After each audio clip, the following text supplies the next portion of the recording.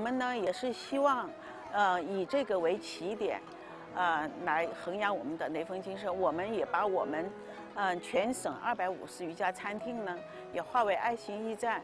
我们希望在那个冬日呢，能为我们环卫工续上一杯热水；，呃，夏天呢，能跟他们提供这样的纳凉的一个场所。让我们一代又一代的呢，去把这个雷锋精神去传承，生生不息。